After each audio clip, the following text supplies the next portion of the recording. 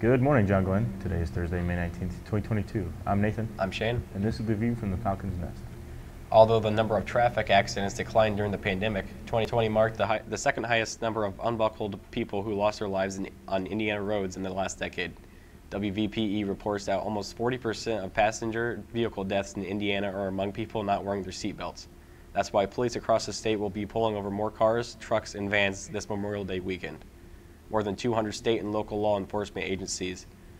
The overtime patrols will be paid for by federal dollars from the National Highway Traffic Safety Administration.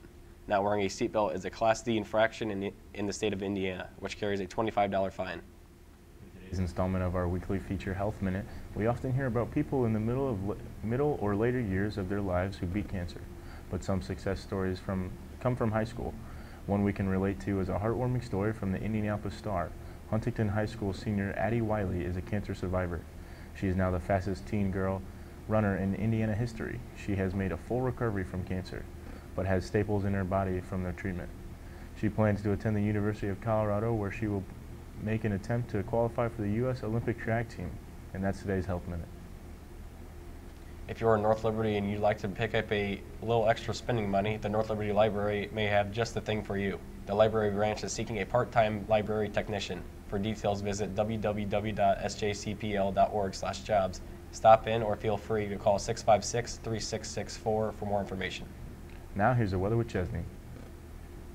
Today's weather is going to be sunny. It is going to be 83 degrees with a real feel of 79 for the three day forecast.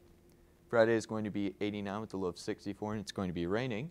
Saturday is going to be 70 with a low of 45 and it's going to be raining as well.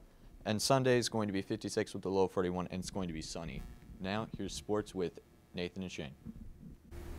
Marshall Platts pitched four strong innings while striking out five to pick up his first varsity win. Freshman Drew King threw a scoreless last inning, striking out one. Joey Shue had two hits and three RBIs, and Bryson Hanna drove in three runs to pace the offense.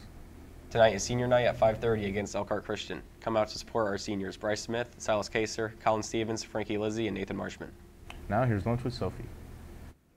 Hello, everybody. So today's lunch will be rotini pasta with meat sauce or Italian pepperoni calzone with garden bar, mixed fruit cocktail, a fruit slushy, and a breadstick. That's all we have for you today, Falcons. Have an amazing day.